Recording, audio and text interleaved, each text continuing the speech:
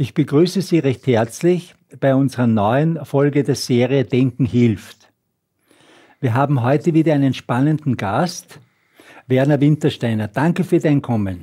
Sehr gerne. Äh, Werner Wintersteiner ist äh, Universitätsprofessor bzw. war Universitätsprofessor für Didaktik der deutschen Sprache und Literatur in Klagenfurt. Er hat auch, und äh, das ist der Hintergrund, ein Zentrum für Friedensforschung und Friedenspädagogik gegründet. Er ist auch unter anderem auch ein Friedenspädagoge. Es gibt auch einen Jahr, ein Jahrbuch Friedenskultur, das er herausgibt, äh, mit vielen, vielen äh, Veröffentlichungen. Und äh, äh ich möchte mit ihm heute über ein Buch äh, sprechen, das im Jahre 2021 herausgekommen ist. Es heißt Die Welt neu denken lernen, Plädoyer für eine planetare Politik, Lehren aus Corona und anderen existenziellen Krisen. Danke für das Kommen. Wie gesagt, sehr gerne. Es freut mich, hier zu sein. Äh, wir kennen uns beide schon sehr, sehr lange. Ich war auch einmal in, in Klagenfurt. Ich glaube, wir haben das zuerst gerade besprochen, seit, dem, seit unserem Kampf in Anführungszeichen, also Kriegsmetaphern darf, darf man für den Friedenspädagogen nicht verwenden, seit unserem Kampf gegen, äh, gegen, gegen Zwentendorf, das ist schon sehr, sehr lange her. Die, äh, äh, du nennst das Ganze eine planetare Politik. Wieso verwendest du dieses Wort planetar? Oder was, was meinst du damit? Ja, äh, das ist ein Begriff, der in den Sozialwissenschaften in letzter Zeit eine kleine Konjunktur hat und ich glaube zu Recht, denn er betont über die Idee des Globalen hinaus, die inzwischen ja auch anerkannt ist, dass wir unsere Probleme nicht nur im Kontext eines Nationalstaats sehen dürfen, sondern äh, dass äh, so viele internationale Verflechtungen sind, dass wir sie als globale Phänomene wahrnehmen müssen. Äh, und jetzt kommt dann noch etwas dazu. Und das, was dazu kommt, ist die Idee des Planetaren. Das heißt, wir müssen die Auseinandersetzungen und Probleme der Menschengesellschaft eingebettet sehen in die Biosphäre. Wir haben lange Zeit so gedacht, die Biosphäre ist das, was einfach da ist, sozusagen der Hintergrund, den man gar nicht sieht, so wie man eine Wand nicht sieht, wenn man einen Menschen anschaut, die ist einfach dahinter da. Und jetzt auf einmal merken wir endlich, dass diese Biosphäre äh, die Art, wie wir leben, wie wir handeln, wie wir Politik machen, äh, wie auch unser Privatleben ist, ganz entscheidend mit beeinflusst.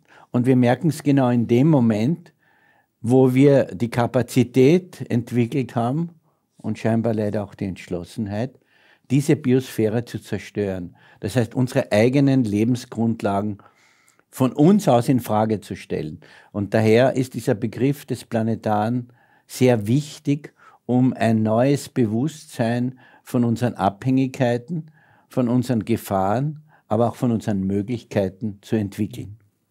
Äh, in deinem Buch machst du sehr viele Parallelen äh, in der Reflexion über die Pandemie und gleichzeitig über die ökologische Herausforderung. Und du beschreibst es beides als eine tiefe Krise.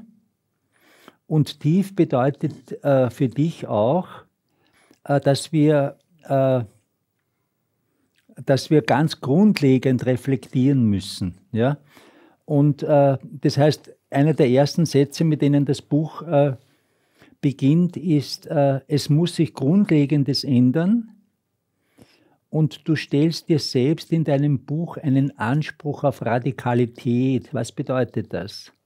Radikalität bedeutet äh, rein etymologisch gesehen an die Wurzel gehen, also an die eigentlichen Probleme anzutasten. Und das ist ja genau, was jetzt nicht passiert. Denken wir an diese staatstragend gemeinte Rede unseres Bundeskanzlers vor einigen Tagen, als er im Wesentlichen die ökologischen Probleme vollkommen heruntergespielt hat, äh, so als wären das kleine technische Probleme, die man leicht lösen könnte. Mit so einer Mentalität werden wir die heutigen Probleme nicht bewältigen können. Und das meine ich äh, einmal mit Radikalität. Im Übrigen ist äh, ist vielleicht die Ausdrucksweise eine Parallelität zwischen Covid-Krise und ökologischer Krise ein bisschen eine verführerische Sprache. Denn natürlich ist die Covid-Krise eine ökologische Krise. Es gibt nicht nur Strukturparallelen, sondern wir wissen ja, dass diese ständige Einschränkung des Lebensraums von äh, nichtmenschlichen Gattungen beziehungsweise von keinen von Menschen gezüchteten Tieren, äh, dass die Einschränkung äh, zu unseren Gunsten praktisch, also vor allem die Vertreibung von Wildtieren, die Zerstörung von natürlichen, also biologischen Räumen, dazu geführt hat, dass viel mehr Krankheiten, die vielleicht völlig harmlos isoliert in bestimmten Bereichen von Tierpopulationen existiert haben, nun auf Nutztiere überspringen, beziehungsweise auch auf Menschen selber. Und man vermutet ja, dass auch die äh, Covid-19-Erkrankung äh, so eine äh, Krise ist. Also es ist eigentlich direkt ein Musterbeispiel und gleichzeitig ein Symbol unserer ökologischen Krise. Äh, das ganze Buch ist unterteilt in 15 Kapitel und im dritten Kapitel äh, machst du einen, äh, eine Skizze dahingehend, wie Menschen auf große Krisen reagieren. Mhm. Ich habe mich jetzt äh, vor kurzem äh, mit dem Jahre 1923 beschäftigt, habe gerade ein interessantes Buch gelesen über diese Erschütterung aus dieser Hyperinflation in Deutschland. Und du beschreibst jetzt, und ich denke, das war 1923 ähnlich, du schreibst, auf der einen Seite wird durch eine Krise die intellektuelle Energie mobilisiert und auf der anderen Seite werden so, im Grunde genommen, äh, kommt ein magisches Denken wieder sozusagen an die Oberfläche. Äh, und beides können wir äh, beobachten. Es gibt auch, also das kenne ich aus meiner Tätigkeit als Universitätslehrer, im Augenblick ungeheuer viele Reflexionen, äh, positive Reflexionen im Sinn von, von utopischen oder halbutopischen Entwürfen, wie wir äh, mit der äh, ökologischen Krise umgehen könnten. Das heißt, du hast sozusagen so einen zweifachen Befund und ich habe diese Typologie eigentlich sehr interessant gefunden. Ja? Mhm. Ja, ich bringe ein Beispiel, das zwar nicht von 1923 ist, aber von ungefähr zehn Jahren später, das für mich besonders sprechend ist.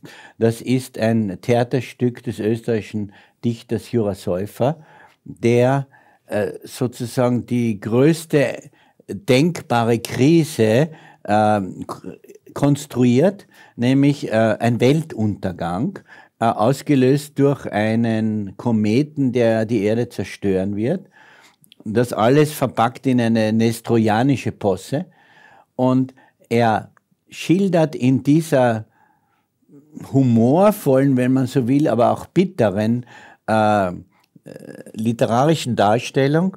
Er studiert, wie Menschen äh, auf Krisen falsch reagieren. Äh, und es sind Musterbeispiele. Es hat mich dann frappiert zu sehen, dass einige Studien über die letzten Krisen, ökologische Krise, auch Covid-Krise im Speziellen, genau dieselben Muster finden nämlich zunächst einmal eine vollkommene Abwehr äh, der Realität. Äh, als man entdeckt, dass der Komet auf die Welt zuströmt, äh, werden die Astronomen nicht ernst genommen. Und später auf einmal eine Aktivität, äh, panikartig, aber immer total von kurzsichtigen Interessen getrieben. Ja, es kommt der Weltuntergang und die reichen Leute werden aufgefordert, Weltuntergangsanleihen zu zeichnen noch. Oder Supermilliardäre werden verlockt, äh, in eine neue Raumkapsel zu äh, investieren, äh, mit der sie dann aus der Welt fliehen könnten und so. Und Jura Säufer zeigt an diesem übertriebenen und fiktiven Beispielen Muster von Verhaltensweisen auf, die er auf dem Hintergrund des Aufstiegs des Faschismus praktisch bringt und sagt, wieso reagiert sie nicht auf diese Katastrophe? Und das Traurige und Bestürzende, aber gleichzeitig analytisch Erhellende ist, dass wir diese Muster heute genauso wiederfinden. Und ich beschäftige mich sehr stark in dem Buch mit dem, was hindert uns, äh, die Welt anders denken zu lernen. Äh, das heißt, noch einmal wiederholen, also das schreibst du da im, im vierten Kapitel, Leugnen, Panik und dann hektische, hektisches Handeln.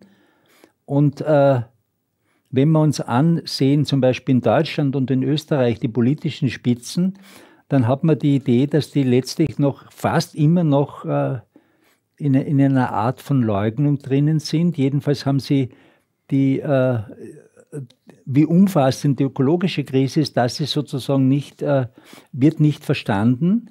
Und das Beispiel von unserem österreichischen Bundeskanzler, das du zitierst, er, er, er verwendet ja einen Autor, einen amerikanischen Autor, der, ich habe mir das im Englischen angeschaut, dieses, äh, ich würde jetzt den Namen gar nicht nennen, der sagt, äh, das ist alles technisch möglich, Plastik wird abgebaut im Meer, das Artensterben gibt es gar nicht und, und, und diese Dinge. Das heißt, es ist eine Art von, von kognitives Leugnen.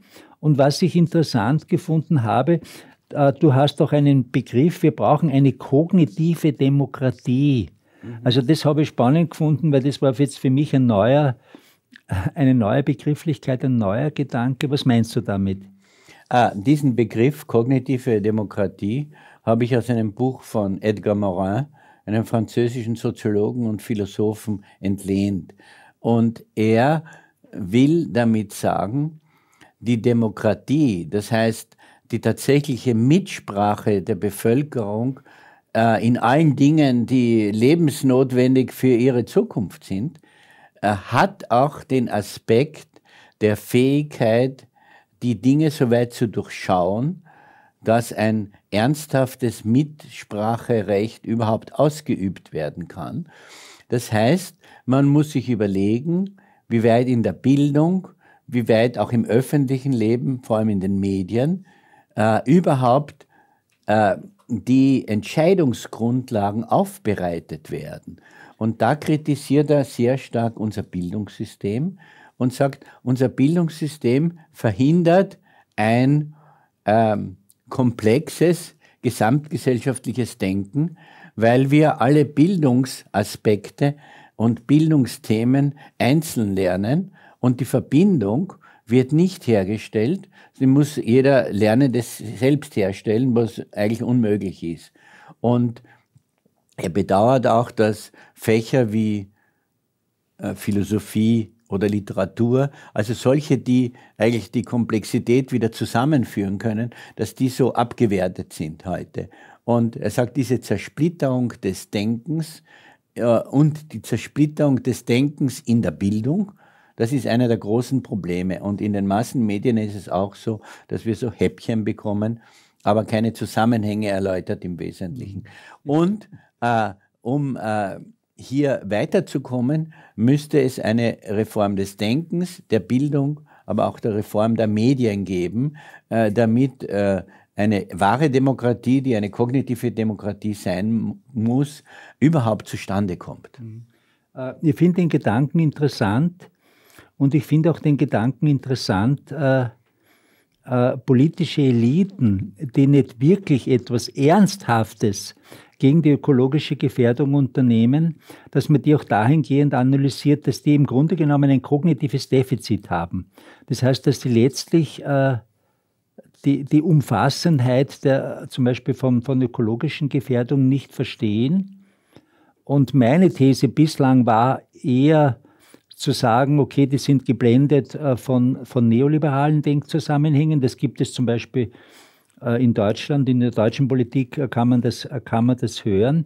Aber du hast ja jetzt eigentlich andere Ebenen der Analyse. Das heißt, dieses kognitive Nichtverstehen, die, die, diese, man könnte sagen, ja, eine Verblendung in einer gewissen Weise, das ist halt ein sehr altmodisches Wort.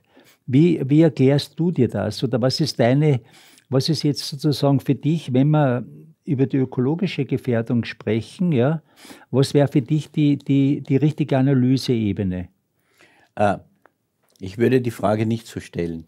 Ich würde nicht in der Einzahl sprechen. Es gibt mehrere Ebenen, die man analysieren muss. Mhm. Wir haben uns jetzt beschäftigt, und das ist zweifelsohne sehr wichtig, äh, mit der Frage, äh, wie weit das äh, die Frage von ideologischer Wahrnehmung, Perzeption, äh, Blickwinkel eingeschränkter oder weiter Blickwinkel ist. Ja? Das andere Problem ist natürlich, wie äh, bei uns in allen Demokratien, kann man sagen, äh, Macht konstruiert ist und Macht organisiert ist, äh, wenn ähm, die Möglichkeit, an der Macht zu bleiben, und ich behaupte, dass das ein großer Impuls derer, die Politik machen, ist einfach, ja, äh, wenn das so funktioniert, äh, in einer perfektionierten Weise fast schon, dass man nicht äh, dem Volk die großen Probleme erklärt und dann sie zu lösen versucht, sondern dass man umgekehrt äh, mit bestimmten Gefühlen, mit bestimmten Befindlichkeiten, äh, mit auch bestimmten Vorurteilen arbeiten muss, um Machtpolitik betreiben zu können, dann ist es ein strukturelles Problem auch, das verhindert, solche Sachen zu lösen. Nehmen wir als ein Beispiel die Grünen in der heutigen Regierungskonstellation in Österreich. Ja? Einige linke Kritiker dieser grünen äh, türkisen oder schwarzen Koalition haben von Anfang an gesagt, wenn die Grünen so eine Koalition machen, dann sind sie nachher erledigt oder so.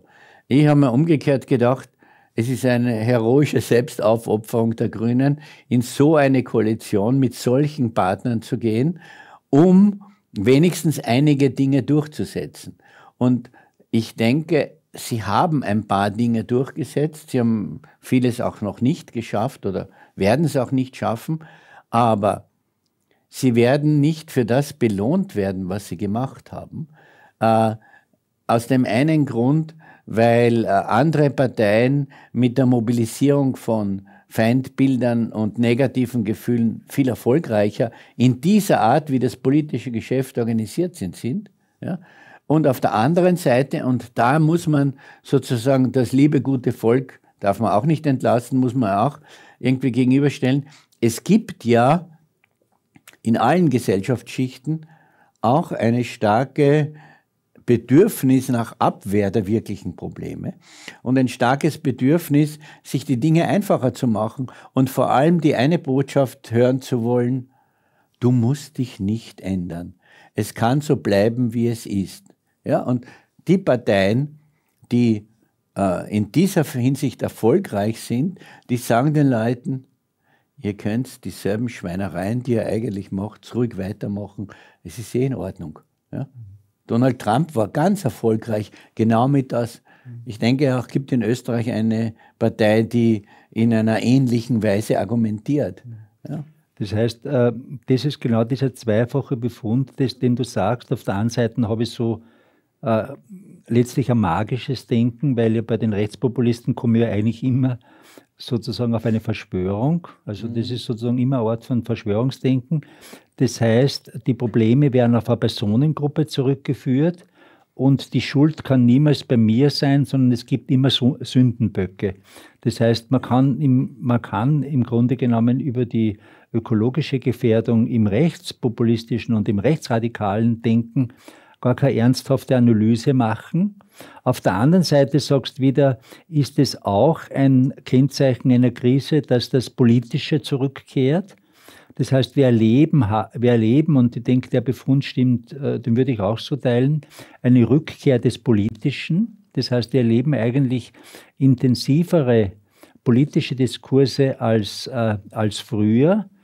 Und äh, das Tödliche ist natürlich genau, wenn die Politisierung den Rechten äh, gelingt, äh, äh, indem man sozusagen überhaupt nicht über Krise reflektieren kann und indem man eigentlich, wenn man dann an der Macht ist, die Krise noch verschärft.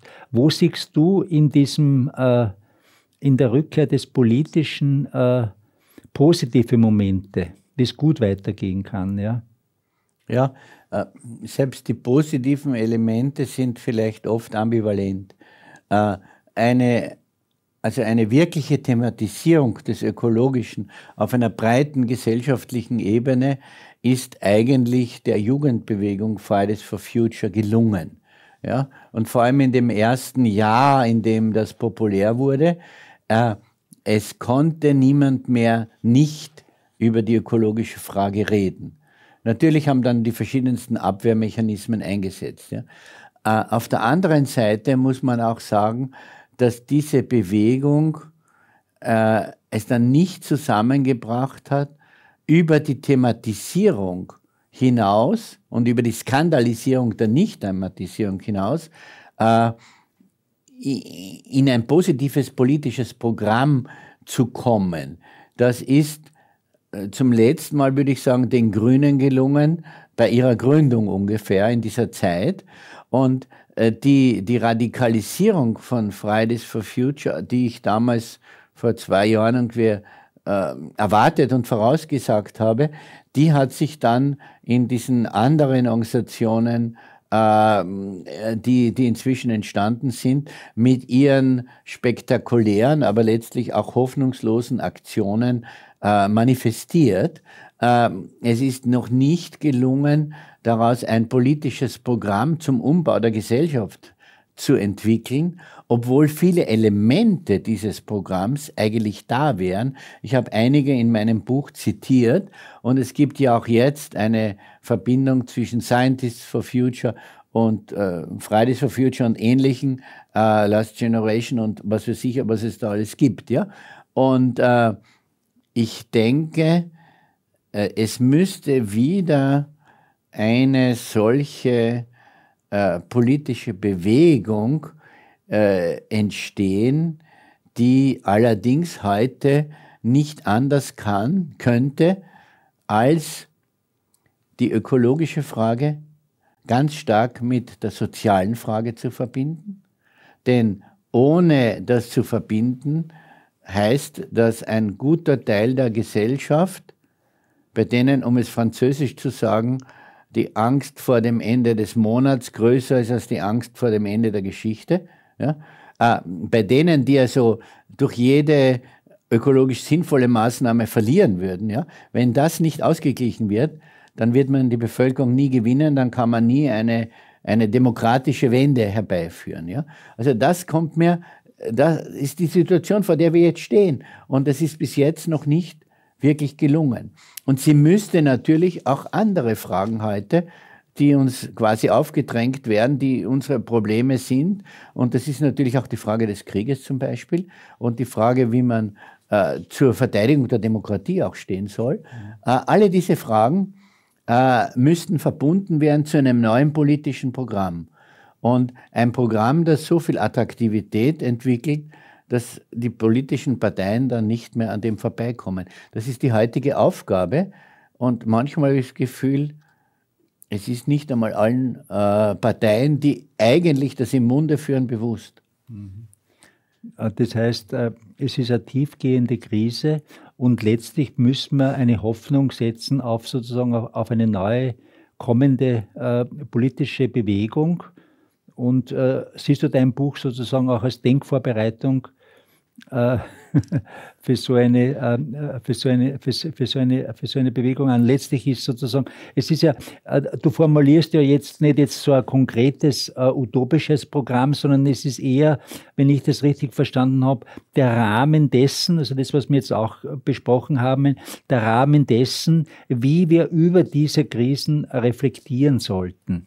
Richtig. Und äh, dass, dass es eigentlich nur einen pluralistischen Zugang zu dem Ganzen geben kann. Dass es also nicht meine Aufgabe wäre, ein Programm anderen vorzuschreiben, sondern dass das nur entstehen kann im Dialog verschiedenster Bewegungen. Ja? Aber das, was eigentlich meine Hauptbotschaft ist und das, was schwer anzunehmen ist und natürlich auch schwer zu realisieren, das ist der Gedanke, dass wir heute eben sehr grundlegende Veränderungen der Gesellschaft brauchen, weil es eben die Probleme wir so lang anwachsen haben lassen. Ja? Äh, die, wenn man die Geschichte der Menschheit einmal im Ganzen sehen würde, würde man sagen, bis vor einer minimalen Zeitspanne ja, vor uns war die Frage der Biosphäre überhaupt kein Thema. Die war so weit gegeben, sonst wäre die Gattung Mensch nicht entstanden, wenn nicht bestimmte biosphärische Bedingungen gewesen wären. Und wenn genau das zerstört wird jetzt, dann ist das eigentlich auch welthistorisch etwas völlig Neues. Und das anzunehmen ist schwierig. Und insofern haben die Recht zwar, die sagen, man muss den Kapitalismus überwinden, ist aber zu wenig. Diejenigen, die sagen, äh, nur ein Feminismus wird uns weiterbringen, haben Recht, ist aber zu wenig. Diejenigen, die sagen, wir brauchen sozusagen eine Überwindung der Kultur der Gewalt für eine Kultur des Friedens, haben recht, es ist aber zu wenig. Und diejenigen, äh, das war ich beim Kapitalismus schon dabei, die sagen, wir brauchen eine soziale Umwälzung, haben auch recht. Ja? Und insofern würde ich auch gerne wieder Edgar Morin den Begriff der Metamorphose verwenden. Äh, Metamorphose als einer grundlegenden Wandlung der Gestalt, aber mit dem Material des Bestehenden. Und weil eben eine Sicherstellung des menschlichen Lebens in der Zukunft in einer Qualität, die wir äh, überhaupt als sinnvoll erachten, nur möglich ist durch so eine Metamorphose, ist die Aufgabe so groß. Aber ich kann nicht, wenn ich sehe, dass diese Aufgabe so groß ist, so tun, als wäre sie nicht so groß. Und um die Leute zu beruhigen, sagen, du mal halt uns ein bisschen irgendwie in die Richtung bewegen, ist schon gut. Ja? Ich muss leider es so sagen, wie ich denke, dass es wirklich ist. Aber vielleicht kann auch diese Radikalität der Situation eine Radikalität der, des Veränderungswillens auslösen. Ich möchte das noch ein bisschen jetzt vertiefen. Ja. Äh, ich habe bisher für mich jetzt, immer wenn ich über die ökologische äh, Krisen äh, gesprochen habe, und ich habe versucht, das historisch aufzudröseln, habe ich gesagt, wir könnten, wir könnten eine dreifache äh, äh, Thematisierung machen. Wir könnten sagen, es hat mit dem Neoliberalismus zu tun. Also das ist jetzt vielleicht, was ich, 60 Jahre oder so oder 50 Jahre, der den äh, der die, äh, die Bemächtigung des Staates, wofür der Staat oder wofür die Politik zuständig ist, ausgehöhlt hat. Wir könnten sozusagen auch äh, in die industrielle Revolution gehen. Das heißt, wo, dieses, äh, wo dieser Wachstumsdruck oder die Wachstumsnotwendigkeit in den Kapitalismus hineingekommen ist. Das hat es früher nicht gegeben. Und die CO2-Emissionen, die messen wir auch immer seit Beginn der industriellen Revolution, weil da geht ja die mhm. Kurve dann in die Höhe. Oder wir könnten sozusagen der, die, die dritte äh, äh, geschichtliche Zäsur, wir könnten noch weiter zurückgehen und könnten sagen, es ist ein Problem der Neuzeit, wo die, diese, diese Bindung des Menschen äh, an die Natur, im, im, im Mittelalter sich sozusagen dann löst und wo, wo dieser Gedanke Wissen ist gleich Macht, also diese Beherrschung der Natur äh, dann äh, sozusagen in den, Vorder-, in, in den Vordergrund rückt. Und äh, jetzt äh, im, im Hinblick auf dieses dreifache Bild ist meine Frage, wenn du von einer grundlegenden Krise und einer grundlegenden Betrachtungsweise äh, sprichst, wie ordnest du das da jetzt, deine, deine Problemanalyse hier ein? Meine Problemanalyse ist äh, sehr stark beeinflusst durch äh, ein weiteres Buch von Edgar Morin, den schon erwähnten Soziologen und Philosophen, mit dem Titel Heimatland Erde, das er in den 90er Jahren des vorigen Jahrhunderts geschrieben hat. Und er setzt tatsächlich seine Analyse mit dem Beginn der Neuzeit an und untersucht, welche Veränderungen da erfolgt sind. Das geht ganz stark auch in die Richtung, die du sagst. Äh, in gewissem Sinn äh, muss man allerdings vielleicht noch viel früher ansetzen, äh, weil sich bestimmte Verhaltensmuster schon wesentlich früher herausgebildet haben, äh, die äh, alleine noch nicht äh, so existenzielle Probleme waren, sie waren vielleicht ethische Probleme. Also zum Beispiel die Ungleichheit zwischen Mann und Frau, die ist ja keine Erfindung der Moderne oder so, im Gegenteil, die ist schon wesentlich älter. Und auch dieser Umgang mit der Natur, dass wir uns als Herrscher, vielleicht auch als Herrscherinnen, äh, der Natur gefühlt haben. Das steht ja bekanntlich schon in der Bibel, die ist etwas älter als diese Neuzeit. Und dort steht auch so dieser Gedanke, macht euch die Erde untertan. Natürlich stehen auch andere Sachen in der Bibel, aber diese eine Linie hat es eben schon gegeben. Und insofern muss man natürlich, und einige Pessimisten sehen das auch so und sagen eigentlich, spätestens seit der neolithischen Revolution, äh, wenn es denn eine solche gegeben hat in Wirklichkeit, äh, spätestens seit damals hat die Gesellschaft sich in einer Weise entwickelt, äh, die problematisch ist, mit einer starken Hierarchie, Hierarchisierung zwischen den Menschen, mit äh, der Erfindung der Sklaverei als Institution, mit der Erfindung des Krieges als Institution, mit der Unterordnung der Frau, mit der, unter, mit der Domestizierung von Tieren, beziehungsweise auch dem Auslöschen anderer Tiere, äh, mit der Zerstörung äh, natürlicher Lebensräume und so weiter. Das heißt, äh, Dinge, die es schon früher gegeben hat, die noch keine existenzielle Bedrohung der Gattung Mensch sind, sind jetzt zu einem Teil eines Syndroms geworden, das die Weiterbestehen, das Weiterbestehen der Gattung Mensch in Frage stellen. Und insofern müssen wir sozusagen alles in einem Aufwaschen äh, lösen. Deswegen der Begriff der Polykrise, den ich viel verwende, und der radikalen Metamorphose um die Gesamtheit dieser Polykrise lösen zu können. Ich denke, auf der, auf der einen Seite kann ich dem zustimmen. Auf der anderen Seite ist halt äh, die Frage, je tiefer und je umfassender ist oder je, je längere äh, Zeiträume wir denken, umso hoffnungsloser wird sozusagen der Gedanke, äh, dass man überhaupt noch irgendeine Art von Änderung be bewirken kann. Aber es ist ja letztlich nicht dein Standpunkt, weil du ja im Grunde genommen äh, letztlich äh, eine positive Programmatik beschreibst. Es ist ja nicht, äh, es ist zwar, es ist eine ernsthafte Krisenanalyse, aber es wird niemals im Buch äh, die, äh, es ist niemals im Buch dieser Widerhall, es hat eh gar keinen Sinn mehr, dass wir irgendwas tun. Das heißt, es, es kann noch äh, es kann noch gelingen. Vielleicht, äh, nachdem du, weil du ja Friedensforscher bist oder Friedenspädagoge, vielleicht noch einmal die Frage, die du hast jetzt schon zweimal anklingen lassen. Was hat die Umweltproblematik mit einer Friedensproblematik zu tun? Sind das nicht zwei verschiedene Politikbereiche? Aber ich, ich denke, du verknüpfst es ja systematisch. Ja. Eine gute Frage, aber lass mich vorher auf die Frage der Hoffnungslosigkeit antworten. Ja. Äh, es wäre natürlich sehr zynisch, so ein Buch zu schreiben äh, und dann am Schluss zu sagen, ist eh alles wurscht. Wozu mhm. schreibt man dann ja. so etwas? Ja? Es gibt, äh, würde ich sagen, und wieder angelehnt an Edgar Morin, äh, zwei, sagen wir, Hoffnungspfade, äh, die natürlich auch sehr unsicher sind, aber die trotzdem ein Fenster der Hoffnung aufmachen.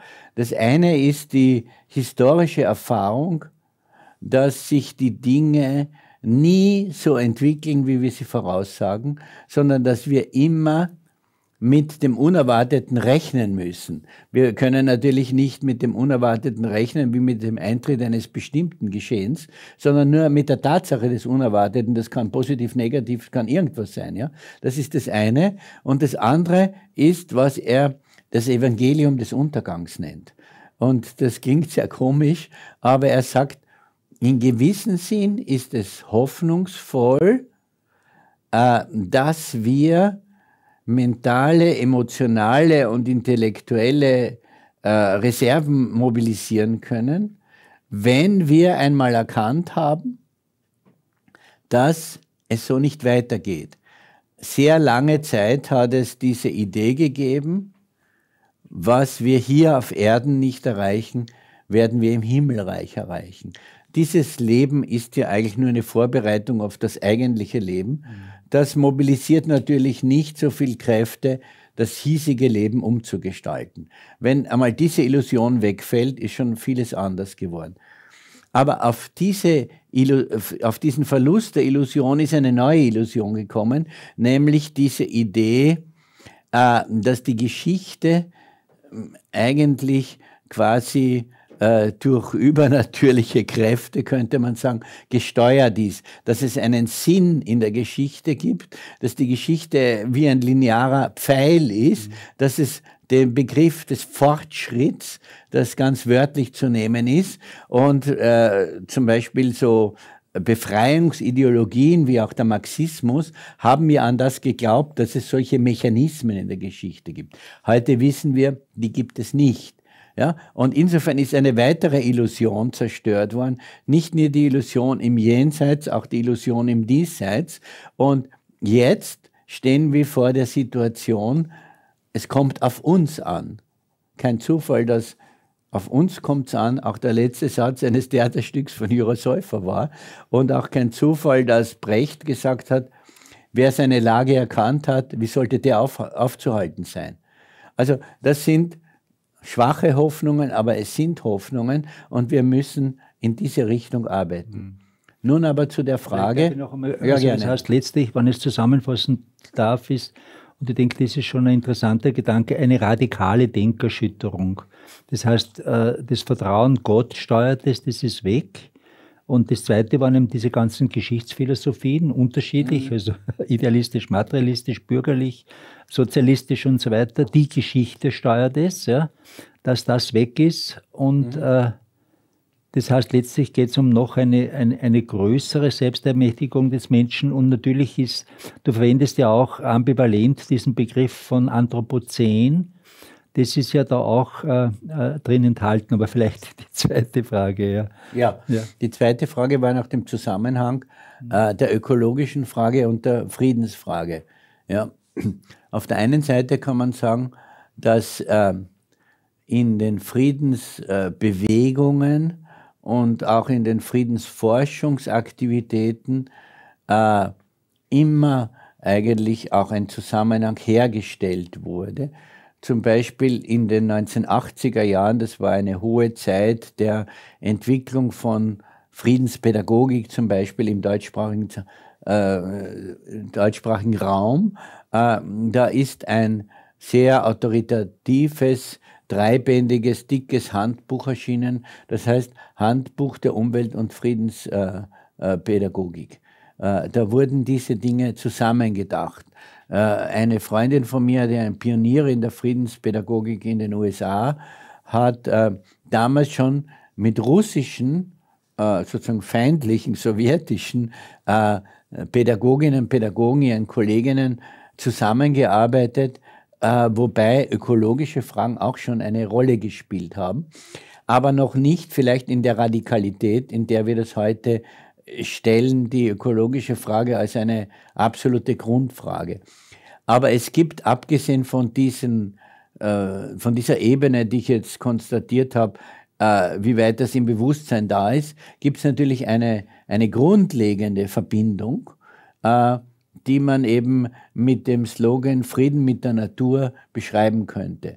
Äh, ich habe schon vorher gesagt, dass ich glaube, dass wir zu den Anfängen eine Haltung zurückkehren müssen, die die Natur als einen Feind und nicht als einen Partner quasi sieht und äh, uns nicht mehr zu sehen als einen Teil der Natur, sondern als eine Art Gegner der Natur, Prometheus sozusagen.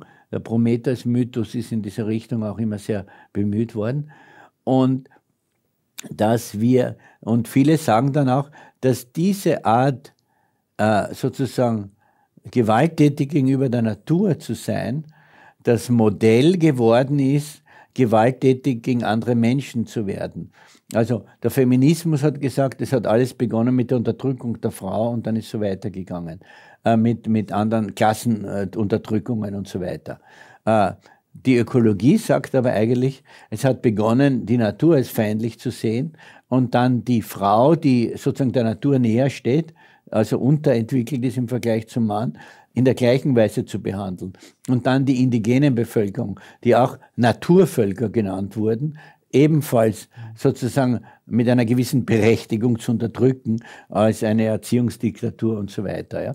Also es gibt hier einen äh, prinzipiellen, strukturellen Zusammenhang auf einer sehr tiefen Ebene zwischen der Natur- und Friedensfrage. Und äh, letztlich geht es darum, sozusagen mit der Gesamtheit äh, der Welt Frieden zu schließen, äh, was wir in pädagogischer Weise ausdrücken mit diesem Doppelbegriff Global Citizenship und Planetary Citizenship. Also global, was die Ebene der Menschenwelt betrifft und planetar, was die Beziehung zwischen Mensch und dem anderen Bereichen der Natur, der Biosphäre und so weiter betrifft. Das heißt, es ist also ein, man könnte sagen, ein radikales Plädoyer für eine Art von Friedenskultur in, in, in vielen Bereichen. Äh, wir müssen schon langsam zu einem Ende kommen. Als äh, Friedenspädagoge und als Friedensforscher, und das hast du mir zuerst gesagt, wirst du jetzt äh, aus dem aktuellen Krieg laufend äh, eingeladen. Also es gibt unglaublich viele Einladungen für dich. Du hast auch gestern in Linz einen Vortrag gehalten zu der Frage äh, des Krieges äh, in der Ukraine. Und dich äh, treibt herum, so habe ich das jetzt verstanden, die Frage, wie können wir sozusagen diesen Krieg äh, wieder beenden? Und die Schwierigkeit, die es hauptsächlich jetzt sehe ich zum Beispiel jetzt im deutschen Diskurs ist, wer solche Fragen stellt, äh, ist sozusagen sofort in Gefahr. Das sind jetzt die Putin-Freunde, das sind diejenigen, die äh, die Unterstützung für die Ukraine unterminieren wollen und so weiter. Das heißt, äh, vielleicht, ähm, vielleicht kannst du uns noch so deine wichtigsten Ideen in Bezug auf die Frieden, in Bezug auf die aktuelle Friedensproblematik schildern. Ja. Mhm. Wenn es uns gelingt, einen Moment, einen Schritt zurück zu machen und halbwegs objektiv auf die heutige Situation zu blicken, dann kann es nicht anders sein, als dass wir absolut erstaunt und verblüfft sind. Wir haben hier einen Krieg. Es ist der größte Krieg in Europa seit 45. Er hat globale Auswirkungen verheerenden Ausmaßes. Und dass wir gerade angesichts dieses Krieges nicht über Frieden reden, ist doch völlig absurd. Ist doch völlig unlogisch. Das ist so ähnlich, wie wenn wir angesichts eines Feuers nicht über das Löschen reden würden. Ja, das, das ist eigentlich unverständlich in gewissem Sinn. Und ich möchte das einmal bewusst machen, damit wir überhaupt beginnen können, über Friedensmöglichkeiten nachzudenken. Und ich möchte auch alles beiseite wischen zunächst einmal, was dagegen vorgebracht wird, äh, die Dinge, die du zitiert hast, äh, und einfach einmal ganz nüchtern sagen, es ist inzwischen eine Tatsache, an der man nicht mehr vorbeikommen wird, dass selbst führende westliche Militärexperten, Expertinnen gibt es da nicht so viele, Experten sagen, jetzt ist eine Situation entstanden, in der wir über Verhandlungen und Frieden nachdenken müssen. Wie das dann ausschaut, gehen auch die Meinungen dieser Experten auseinander und gehen sie auch in eine andere Richtung, als ich es mir vorstelle vielleicht. Aber dass man jetzt wieder in die Richtung denken muss sogar, dass das eigentlich die einzige Möglichkeit ist, das ist eine meiner wichtigsten Botschaften. Und darüber hinaus kann man dann äh, beginnen nachzudenken, welche Voraussetzungen dafür da wären, dass es zu Verhandlungen kommt. Man darf ja nicht vergessen, wenn jemand sagt, es ist notwendig, Verhandlungen zu führen, heißt das ja nicht, dass jemand sich der Illusion wiegt, dass diese Voraussetzungen für Verhandlungen schon gegeben sind aber wir müssen darüber systematisch nachdenken. Und es gibt natürlich bestimmte positive Anzeichen, Anzeichen, die wir aufgrund unseres eurozentrischen Blicks oft nicht bemerken, dass nämlich sehr viel aus dem globalen Süden kommt, dass im globalen Süden eine völlig andere Wahrnehmung dieses Krieges als bei uns herrscht. Und dass zum Beispiel ein Präsident wie Präsident Lula von den USA aufgefordert, auch Waffen zu liefern, weil äh, Brasilien ja doch den Krieg verurteilt hat, also die, die Invasion Russlands verurteilt hat. Und Lula hat zu Präsident Biden gesagt, ich bin da, um den Krieg zu beenden und nicht, um in den Krieg einzusteigen.